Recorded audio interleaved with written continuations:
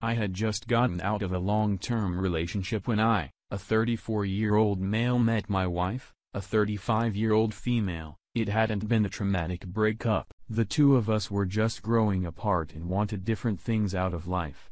So we decided it was better to break up. A few months after that breakup, I bumped into a woman who introduced herself as Katie. We started talking in a coffee shop and hit it off. When we exchanged numbers, I did warn her that I had just gotten out of a serious relationship, which meant I wasn't ready for anything serious or anything at all.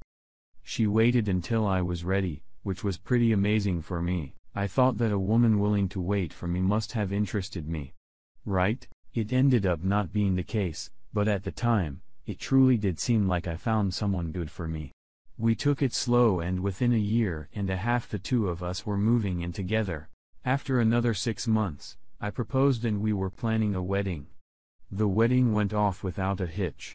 The two of us were financially stable. At the time of our wedding, I had a decent job and so did my wife. While we might not have been as rich as the 1%, the two of could be considered middle class at the very least.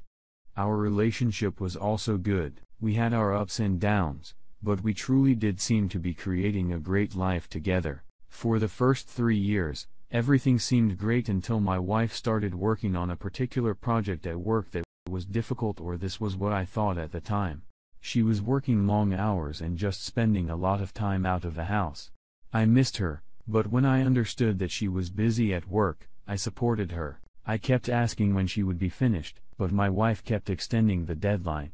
This has been going on for nearly six months now. It made no sense why she would still be spending all these late nights at work. It got to the point where I couldn't deny that something wasn't right, so I went on to her laptop that she had brought home from work.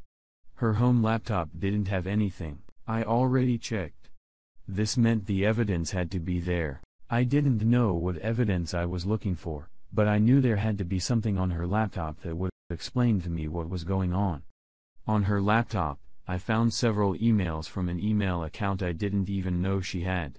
On this email were dozens of emails were shared between this unknown man. They were all of a romantic or sexual nature, which only confirmed the truth that I was afraid to admit to myself she was cheating on me. When she came back home from picking up dinner for us, I had the laptop out in the open with the emails right there so she could see that I knew everything. My wife didn't say anything at first. She looked like she was in shock, so I took the chance to ask her who was the guy she was cheating with. My wife screamed saying I had no right to go into her work laptop because that contained confidential information. I almost wanted to laugh because she had been the one to use her work laptop to talk with this guy. So I asked again, he was a former client of the office that she had continued speaking to even after the contract ended.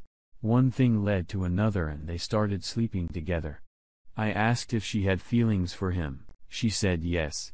My wife said she was going to eventually tell me that she wanted a divorce so she could move on and be with this man. Once I did a little digging, I discovered this man was very rich. When I say rich, I mean filthy stinking rich. She always loved the finer things in life, but seemed like she wanted to work towards it. I couldn't understand the shift in her personality. Maybe it had always been there and I was so blinded by my love for her that I just wasn't able to see it.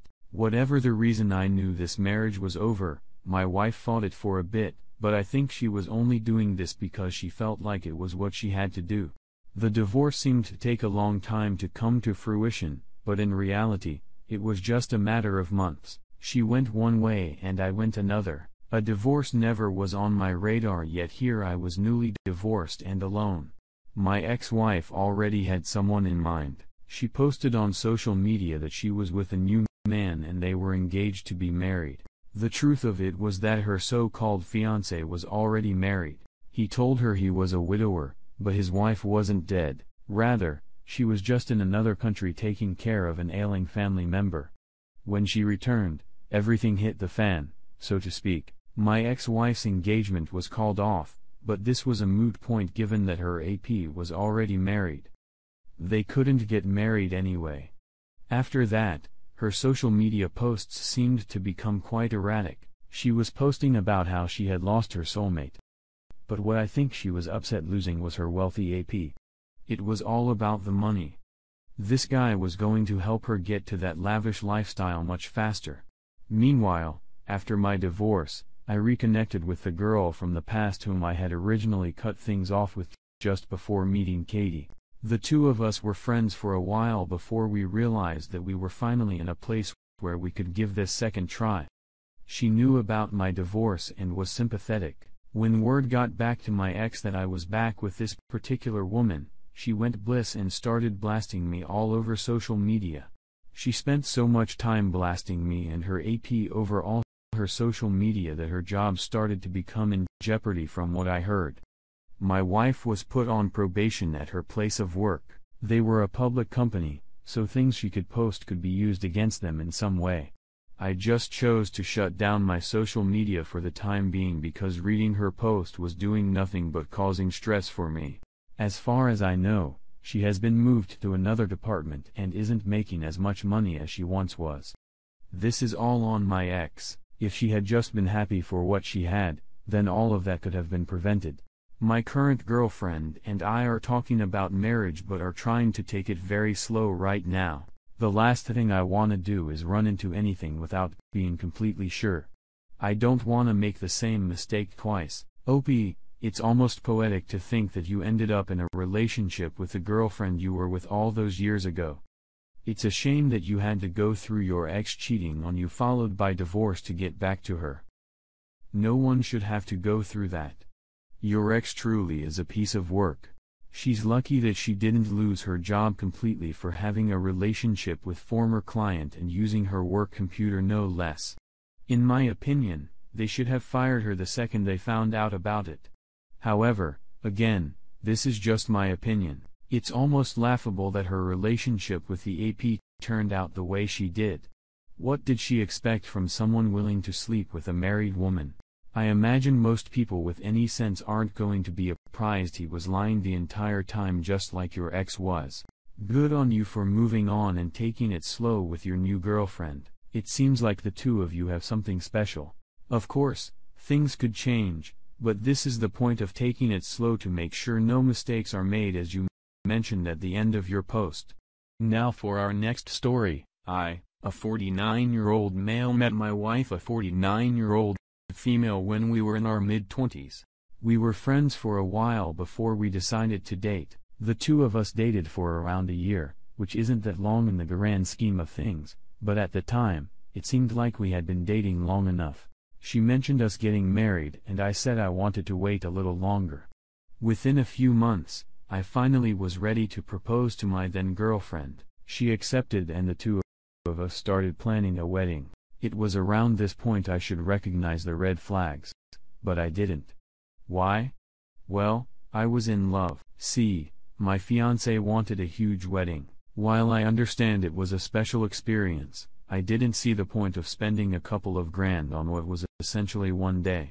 I ended up convincing her to have a small intimate ceremony. She seemed alright with it at the time, but I think as the months and years went by, she almost started to resent me for talking her into that.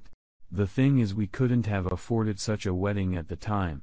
I suggested that one day we could have the wedding of her dreams one day if we decided to renew her vows. This seemed to please her, but again, I felt like this resentment was always there, just lingering beneath the surface. Was I the most romantic guy in the world? No, but I tried hard to keep the romance alive by doing little things for her over the years. And it wasn't like my wife didn't know this when we got married. We also didn't have kids, so there wasn't that pressure hanging over us. The years passed and by the time we were in our 40s, we had been married for almost two decades. Things had gotten stale for the past year or so, which led me to plan a romantic night out. I even asked my sister for help because like I said, I wasn't very romantic. It ended up not going anywhere. My wife never came home that night, and when she did, she said that she had stayed at a friend's house they had been drinking, so she figured it was safer for her to just spend the night there. I saw no reason to not believe her, so I took her at her word. The next night, I tried again and we had a pleasant dinner. When I tried to initiate intimacy, she brushed me off saying she was too tired. Again, I didn't think too much of it. We both worked a lot, which was why we were finally able to afford the lifestyle we were currently living. This trend continued and it got to the point where I had to ask myself if I was going to continue to believe her stupid lies, which were lies. I reached out to her friends to see if she was there, but they covered for her. I shouldn't have been surprised. The only way I could think was to directly confront her about her lies and asked her if she was cheating. To my surprise, she admitted everything the night I confronted her. I think I was in shock that she just straight up told me that she was cheating. Honestly, I don't know what I was expecting. I think I thought she might try to deny it and tell me that I was wrong, but she didn't do any of that, so I asked who it was and how long it had been going on. He was a family member of one of her friends she met one day. It was an instant attraction, and he was so romantic there it was the one thing that I could never manage to do. I did try, but my wife didn't think that I was trying hard enough this guy was everything I wasn't and more. She claimed our marriage ended that night and what began was the divorce process. It wasn't a bitter divorce, we agreed to split everything down the middle. The house would be sold and we each take half. This seemed like the best option for us to get away from each other quickly. Once everything was final, I bought a condo with the money we split from the joint account. I still had a decent amount left over that I was going to keep for a nest egg eventually. The house sold, and I put that money away as well. You never knew when you were going to need it. My ex ended up doing the exact opposite. She took her money and bought an even bigger house than the one we lived in together. Then I heard that she was planning a wedding, a very huge wedding I might add. It was the wedding she had always wanted I was having flashbacks to the wedding we had all those years ago. My ex had resented me for all these years because we never had the wedding she truly wanted. As embarrassing as it is to admit, I did look at the pictures on Facebook afterwards, and my god, it was a huge affair, everything looked so expensive. I can just imagine how much money she spent on the whole thing, including the dress. At that point, I knew I had to take a step back and stop obsessing over this woman who was my ex. I focused on spending time with my friends and family, which helped. I assumed my ex was spending time with her new AP.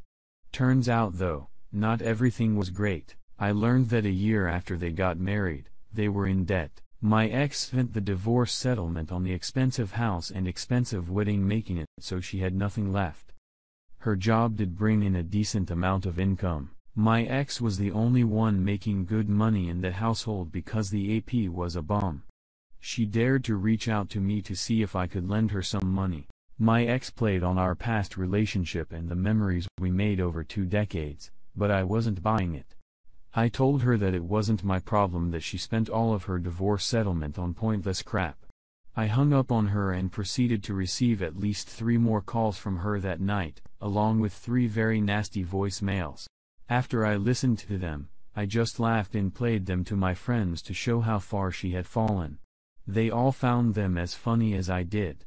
My ex truly had no shame or was just that desperate. I don't know if she ever truly believed that I would give her the money or not. Even if she had reached out to me a few months prior, I still wouldn't have given it to her. At no point was I ever that desperate. I blocked her number that night because I didn't want to hear another word from her. We were done. She cheated and wanted to go be with her AP who was the new love of her life. If she had planned better, then my ex would have money just like I still did. Most of my family and friends were happy to see her go. I wonder if they had ever liked her or just tried to get along with her for my sake. It didn't matter anymore, though, because my ex was a part of my past, and that was where she was going to stay. OP, you made the right decision all those years ago not to have an expensive wedding. It's only one day out of your entire life. It's not to say that you can't make it special, but rent a wedding dress. Don't get a hugely expensive venue either. Make it a nice and small intimate affair. The one thing I'll give your ex is that she did own up to it right away. It doesn't change the fact that she never should have cheated on you in the first place, but at least she didn't continue to lie even when the evidence was right there. It's quite ironic that your ex was finally able to plan the wedding of her dreams but it ended up being what was truly her downfall. She probably realizes now that it was a bad choice to waste all that money, Not only on a huge house, she probably didn't need, but a huge wedding. To think she reached out to you for money means she must have been desperate. Good on you for shutting it down and leaving her to deal with the consequences. She made her bed of debt, and now she's going to have to lie in it with her bum of a husband.